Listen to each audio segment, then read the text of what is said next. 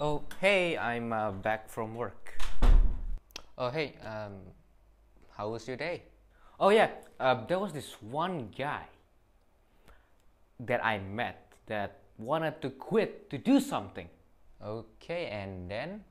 So I motivated him to not quit and to keep doing whatever he wanted to do. Ah, that's nice.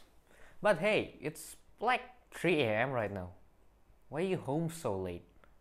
What job do you actually do? Oh, I work at the suicide prevention hotline. Ah, I see. Wait,